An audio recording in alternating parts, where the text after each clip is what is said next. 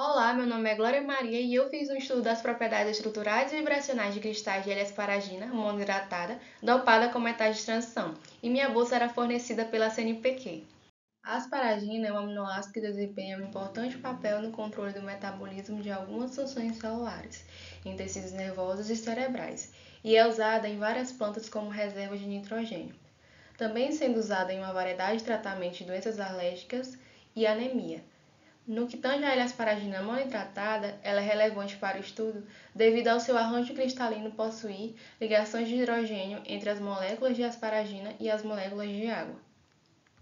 Objetivo geral: caracterizar cristais de L-asparagina monohidratada pura e dopada com nitrato de zinco, nitrato de níquel e nitrato de cobalto Objetivos específicos: crescer cristais de L-asparagina monohidratada pura, crescer cristais de L-asparagina monohidratada dopada com nitrato de cobalto, nitrato de zinco e nitrato de níquel, determinar a estrutura dos cristais de L-asparagina monohidratada pura e dopada por difrações de raio-x, investigar e comparar os modos vibracionais de L-asparagina monohidratada pura e dopada com nitrato de cobalto, nitrato de zinco e nitrato de níquel, e analisar a estabilidade térmica dos cristais de asparagina pura e dopada, usando as técnicas de TG, DTA e DSC.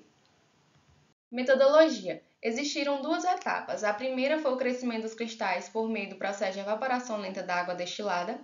Na síntese, utilizou-se 5% ou 7% do valor de L-asparagina para determinar a quantidade de dopante a ser colocada na solução. E, além disso, em algumas soluções o pH foi alterado para 8. Em relação à segunda etapa, houve a caracterização por difração de raio-x para investigar as propriedades estruturais e foram feitas medidas de espectroscopia Raman para verificar as propriedades vibracionais da L-asparagina monohidratada pura e dopada com metais. Resultados: do lado esquerdo nós temos cristais formados na letra A, cristal da L-asparagina pura, na letra B, cristal da L-asparagina dopada com zinco, na letra C e E, dopada com níquel, onde na letra E o pH foi alterado, e na letra D, F, G e H eu tenho ela dopado com cobalto, onde na letra D teve o pH alterado. E do lado direito eu tenho o resultado da difração de raio-x e espectroscopia Raman, onde os difratogramas dos espectros não apresentaram alteração da amostra pura em relação às amostras dopadas.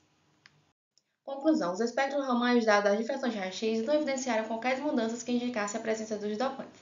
No entanto, observam-se mudanças nas características físicas de alguns cristais, como forma e cor. Nesse ponto, destacamos duas hipóteses plausíveis. A, que ocorreu dopagem em pequenas concentrações dos íons metálicos com a estrutura orgânica, ocupando os íons posições intersticiais na estrutura da L-asparagina. E B, as concentrações de dopantes foram insuficientes para gerar interações que modifiquem a energia dos modos vibracionais. Referências Vasco 2006, Casado Colaboradores 1995, Moreno Colaboradores 1999.